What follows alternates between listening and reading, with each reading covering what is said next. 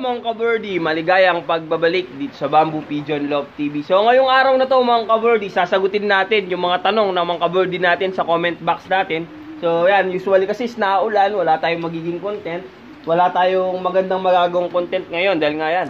Ano, napatak-patak pa nga yung ulan dito sa atin mga kaberdi. So tara mga kaberdi, samahan nyo ko.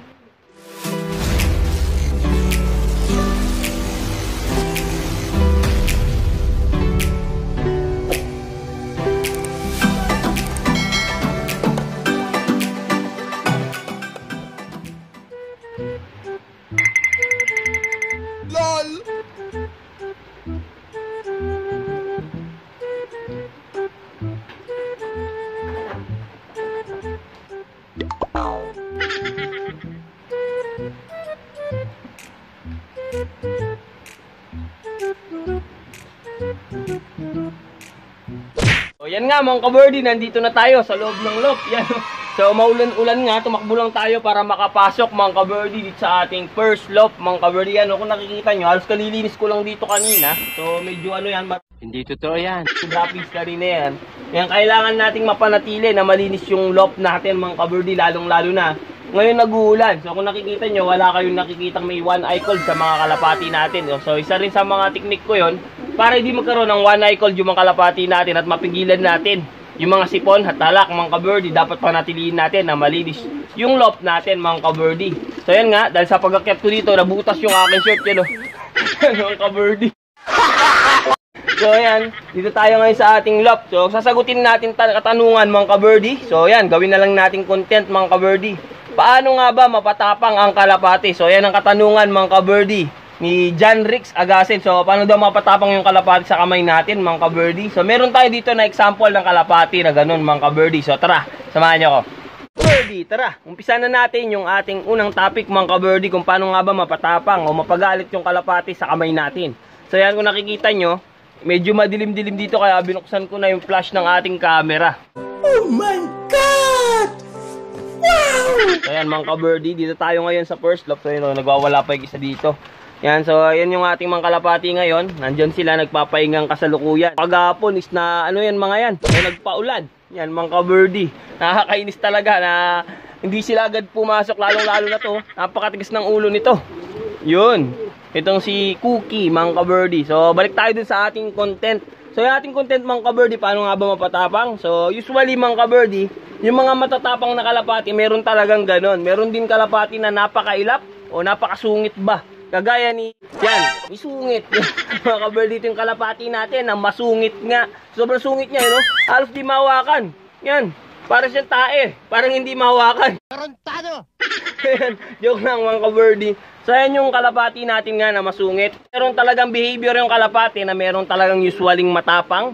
Uh, usualing matapang kasi yun nasa mga kakyon. Yan meron din naman hen na ganun mga kaberdi sa mga nagtatanong. Pero pwede natin mapatapang yung kalapati mga kaberdi. Meron tayong pamamaraan para paano natin magawa yon mga kaberdi. So paano nga ba yon mga kaberdi? Siyempre first mga kaberdi, dapat meron kapares yung ibon natin. So kung wala naman siyang kapares, yan, siyempre kuhanin natin muna o paamuin natin muna. So meron tayong content dyan kung paano magpaamo ng kalapate.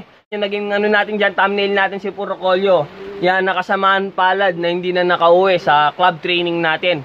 So okay lang mga kaberdi, ganun talaga yung karera. So dapat mapaamon nyo muna yung ibon mga kaberdi. Based dito mga kaberdi, kung ganitong kasungit yung kalapate nyo, baka bihira nang mapaamo yan. Gunggong! Barinig kita sa mukha eh! Hindi, joke lang mga kaberdi, mapapaamo yan mga kaberdi, parang tao din yan. So, yung mga ganyan na kalapati, napapaamo natin yan.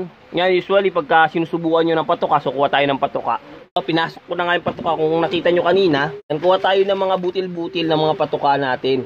Yan, so, kuhanin natin. Yan, nabababa na yung iba dyan. Yung iba yun, oh, susubuan lang natin. Yan, yan, subuan lang natin. Yan, oh, so, try natin. Susubo naman yan mga kaberdi yan. Yan, medyo masungit-sungit lang ng konti pero susubo yan. Yan, susubo yan, susubo. Yan. So, yan. Masungit mga kaberdi, pinahiya tayo ng kalabati natin. Pero yan, mga kaberdi, sa umpisa lang yan, ganyan, magiging masungit talaga. Pero dapat kuhanin nyo talaga yung loob niya. Yun ang pinakaunang tips ko sa inyo, mga kaberdi. Para magawa yon dapat napaamon nyo na yung mga kalapati nyo. Pagka hindi nyo nagawang mapaamo, medyo mahihirapan kayong mapatapang. Kasi yung kalawa, mga kaberdi, kung meron naman kayong ipapares, So pagka nagtiterritorial yung kalapati, yan, nagsibaba na sila, kala nila kakain na oh. so yan, pagka nagtiterritorial yung kalapati, is talagang usually nagiging matapang yan. So para mapatapang sila, yung nakikita nyo yung dalawang yung nag-aaway nga. So magkapatid yan sa tatay, yan mga kaberdi.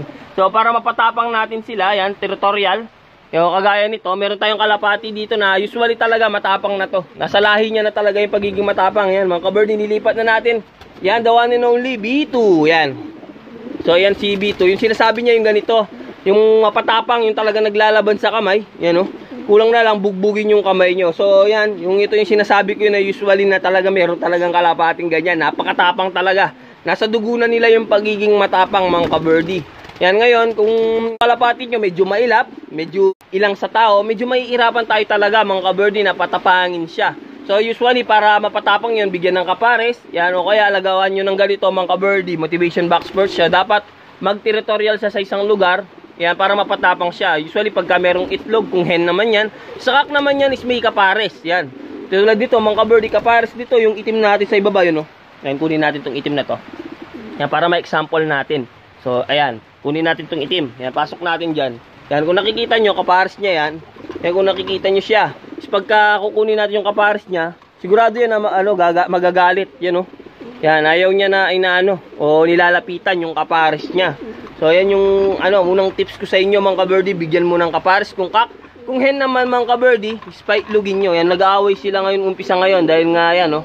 Matagal silang hindi nagkikita dahil nga kinukulong ko muna dito itong si ano, mga kaberdi, itong si B2. Yan, kung nakikita nyo dati, usually nandun siya. Dun sa breeding cage natin, yun kung nakikita yung breeding cage natin. So, inilipat ko siya dito para sama-sama na yung mga panlaban natin. Pwede naman nating mapigilan yung isali sila dito sa mga YB natin. Dahil nga mga panlaban to, delikado para sa mga YB natin na may sali itong mga to. So, nadala na tayo sa unang karera. Kaya ito, ginawan natin na motivation box perch. Sinarado natin. Yan, para hindi siya, no, mga kaberdi, nakakapag-alubilo dito sa mga YB natin. So, yon yan mga ka-birdie, ito yung example nga natin ng kalapati natin na napakatapang. Yan. So usually pagka pinapatapang na gano'n, sigurado, yan. Gusto niya na ma-street fight yung ibon. Yan. So si street fight kasi dapat usually matapang yung ibon mga ka-birdie. Yan, magagawa mo lang na ganyang katapang talaga yung isang ibon mga ka-birdie. Yan, napapaamo mo muna siya. Yun ang unang tips. Yan, pagka naman napaamo mo na siya, pwede mo rin nabigyan ng kapares para maging matapang. Tulad dito mga ka-birdie, kung toro ginagalit mo, tumatapang siya. Then, ikatlo, mga ka-birdie. Ito yung pinaka-common na ginagawa ng mga kalapatids natin dyan o ka-birdie natin. So, hanap kayo ng kalapating galit na galit siya. Yan. Kung, for example, ito yung gusto nyong patapangin. O kaya, yon Yan, usually kasi ito bata pa. Hintayin natin mag-matured. Kasi sungit, bata pa yan. Yan, nasa 2 months old pa yan. Papaapak pa lang yan ng 2 months old. Yan, batang bata pa nga. Alas kasunod niya yung kalapati natin dito na grizzle. Yung anak ni, ano, itong si Mr. Cookie. Sana ba yun? Ayan. Itong grizzle natin na to, si Cremo. Yan si Cremo mga kaverdi. So, yan, para mapatapang natin to, maghanap tayo ng kalapating galit na galit. Yan, galit na galit siya. Yung para bang feeling niya, kalaban niya mga kaverdi, tulad dito. Kunin natin. So, yan, marami din nagtanong, bakit ba kalapati yung pinambubugbog mga kaverdi? Sa mga kalapati natin pang street fight, tulad nito, yan o. Yan, binubugbog niya. So, yan, Paraan din yan mga kaberdi. Yan para mapatapang yung ibon nyo. So hanap kayo ng kalapati na galit na galit siya. Yan pwede nyo din magawa yon. Pagka nagawa nyo na yon mga kaberdi, paunti-unti, pakawalan natin muna to. Lagyan natin muna dito si, yan, puti. Kesong puti. Gusto mo saksakin ko ang alagala mo, ha? Yan. So mga kaberdi, unti-unti kamay nyo na yung ibigay nyo para maano mga kaberdi, mapatapang nyo siya. So yun lang yung maano ko sa inyo. Pa dapat yun, isa din yun dapat uh, ano na siya, adult na siya, talagang nandun na siya dun sa ano niya, uh, namamaris na stage niya mga kaberdi. Pagka bata pa kasi talaga, usually talaga yan, ganyan yan. Gusto lang yan maglaro, yan tumambay, yan medyo mailap talaga yung mga yan. Pero pagka dumating yung araw na nagparesa na sila tulad ng mga to, yan namamaris niya, lumalabas na yung tunay na ano nila, yan oh. Yung tunay na behavior nila na nagiging matapang sila. Yan tulad nito, yan oh. Yan, mga kabirdie, nag-ano na yan. Ito, bata pa to eh. Nasa 3 months old pa itong mga to. Ito, kung naalala nyo, ito yung crack 52 natin. So, yung kapatid niya, nagkaroon ng PNB. So, kapares niya ngayon yung gold line natin na naging kasama niya dito sa pagpabatcher natin. Yan. So, kala ko di ko mababatcher yung mga yan. So, yan mga kabirdie, nasabi ko na yung ano. Dapat ganun yung maging ano nyo, mga kabirdie. Dapat medyo matured na ng konti. Yan. Then, bigyan nyo ng ano, tignan nyo pares kung mapapatapang nyo doon. Ngayon, kung hindi nyo pa mapatapang, so maghanap kayo nung kalapating galit na galit siya. Yan, meron talagang ganun mga kaberly na galit na galit siya. Ayaw niya na pasukan yung kanyang ano, yung kanyang purchase o ayaw niyang malapitan noon. Yan, kagaya nitong puti, alam ko pagka usually pagka puti, yan. So nagagalit yung mga yun, yan, lalaglag niya na yan, oh. Yon.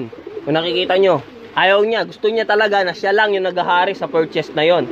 Yun din yung nangyari, kaya ngayon yung kapares niya, first time nating isinali sa kanya, nagalit siya. So ganun yung ano, yan usually kasi itong si B2, ano na to, itong pinakamatanda din sa loop natin at saka si Big Eye. So talagang territorial na yung mga ganyan na ibon. So pag nakikita niyo tumatapang siya, huwag niyo siyang saktan. So medyo ilaylayin niyo lang muna yung tuka. Yan, ilaylayin niyo lang yung tuka na ganyan. Ay, medyo tatapang na yan.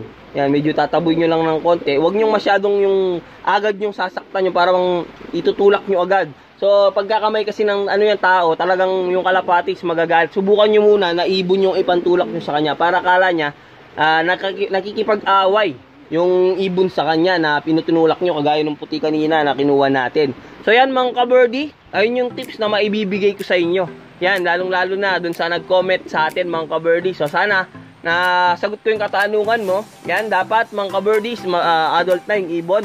Then, try mong parisin para mag-territorial siya. Yan, pag nag-territorial na siya, kung hindi mo pa nakukuwang maano, yan, is dapat napaamo mo. Yan, pagka napaamo mo na, kaberdi, is yan. I-try mo na magkaroon siya ng kinakagalitan niya sa loop. So, usually talaga yan, mga kaberdi, pagka territorial yung ibon, meron siyang kinaiinisan, lalong-lalo na yung pumapasok dun sa kanyang teritoryo. Yan, mga kaberdi. So, yan, hanggang dito na lang ulit yung video ng kaberdi nyo. Sana nasagot ko mga kaberdi sa mga may katanungan dyan na kaberdi natin. So, abang may ulan, abang may bagyo, abang may nangangalapati, abang may bata, may bamboo pigeon love TV. So, sana may natutunan kayo mga kaberdi. So, like, share, subscribe mga kaberdi. So, yan mga ibon natin. Ingat!